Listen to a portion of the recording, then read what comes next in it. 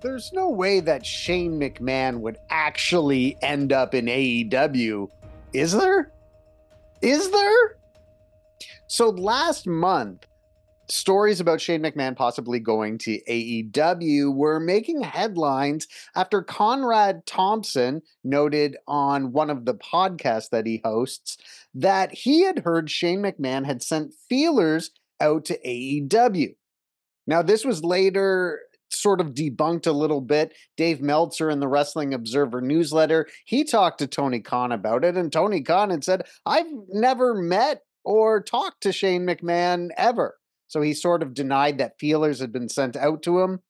And Dave Meltzer would later write in the newsletter that what happened really was Shane McMahon was having a discussion with an ex WWE talent who currently works for AEW, and they were just kind of shooting the breeze. And McMahon had said something to the effect of, Can you imagine if I walked out there on Dynamite? Tony Khan later spoke to Sports Illustrated and he had said that while he's never met McMahon, McMahon was always welcome in AEW. He said, I heard the rumor he might be interested. I've never met Shane, but we have a lot of mutual friends. I have a lot of respect for him as an executive and a professional wrestler. Shane is always welcome in AEW. And then earlier this month, a story came out that Shane McMahon and Mercedes Moné, the AEW TBS champion, had a chance encounter at a New York airport recently.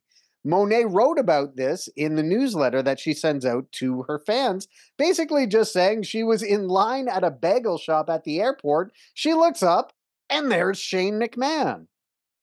Well, Fightful and Wrestle Talk put out a joint report on Wednesday Wrestle Talk and Fightful are reporting that Shane McMahon and Tony Khan had a private meeting on Monday in Arlington, Texas, where AEW is running its residency at the Esports Stadium until mid August.